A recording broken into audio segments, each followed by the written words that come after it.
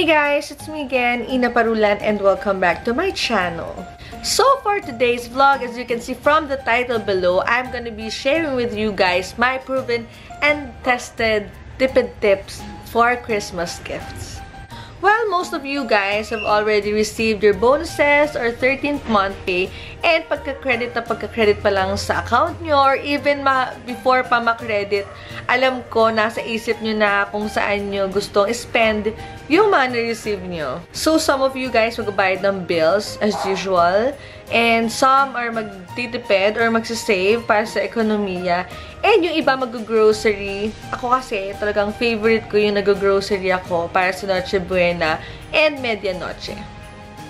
And syempre, hindi mawawala yung Christmas shopping para sa mga family, friends, or even sa mga inaanak natin.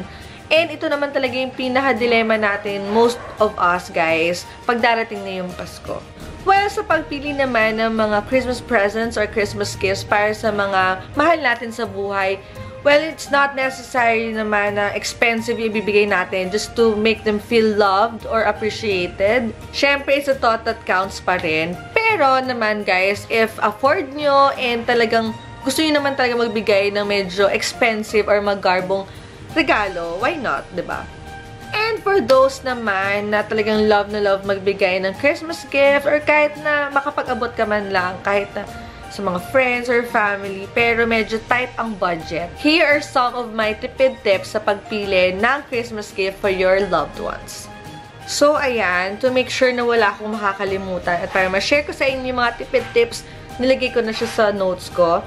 So, unang-una, know their likes or hobbies.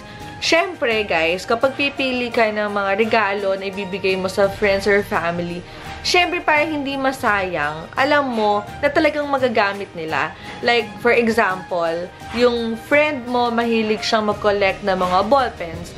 Ballpen, eh, medyo mura lang naman actually. Kung hindi mo naman bibili yung pinaka-expensive, ba diba? Pero kung mahilig siya sa mga colored pencil or colored pens, ganyan, Una-una, makakatipid ka kasi hindi naman siya super expensive. And pangalawa, very well appreciated yung gift mo kasi talagang i-collect niya yun. I mean, idadagdag niya sa collections niya. And isa pa guys, huwag kayong mahihiyang bumili sa mga bazaar or Changi kasi doon makakahingi tayo ng discount, diba? Kapag marami tayong nabili. And sa totoo lang, yung mga nabibili naman natin sa Changi or bazaar, minsan, ganun din, same din sila nang nabibili natin sa mall. Pero sa mall, syempre, mabibili mo siya, mas mahal. Pag naman medyo hindi ka sure sa pagbibigyan mo, or yung mga hindi sure kung ano yung mga gusto niya, pwede ka magbigay ng mga, uh, mga essentials like kapag 'di ba sa mga kwarto or sa CR, 'di ba meron mga linen spray or room spray, yun talaga, I know, may appreciate yung binigyan nyo kasi magagamit niya talaga yun. And if family friend naman yung pagbibigyan nyo, and hindi rin kayo sure or kasi syempre 'di ba pag family friend so ang dami nila hindi mo naman kailangan regaluhan isa-isa. Ang kailangan mo lang magbigay yung mga food. Pwede kang magbigay ng mga baked goods kung marunong ka mag-bake perfect yon Pwede ka magbigay ng wine, kasi magagamit nila or maiinom nila pag nag-celebrate na sila ng Noche Buena. And pwede kang mabigay ng fruits kasi sobrang safe nun and talagang hindi masasayang. And ito, para sa mga friends na talagang maramihan or office mates, kasi syempre, lang namang isa lang yung pagbigyan mo. Syempre, lahat sila, pwede mo silang bigyan, pero hindi nila kailangan, I mean, hindi mo kailangan na maggastosan ng malaki or mag-spend ng malaki para mabigyan sila. Pwede kang mag-gift sa kanila. For example, kung mga girls, yung mga pagbibigyan mo, alam mo yung mga brushes, yung mga wooden brushes or toothbrush, yung mga ganon. Pero, di ba uso ngayon, yung mga pinapersonalize na mirror, ganyan, pwede rin, or jewelry box. Hindi naman siya mahal and pwede mo siyang mabili ng maramihan tapos, lalagyan mo na lang siya ng name. Kasi, hindi siya super mahal, pero ma-appreciate ng taong pagbibigyan mo kasi talagang mararamdaman niya na it's for them. And ito guys, sobrang makakatipid kayo dito sa tip na to.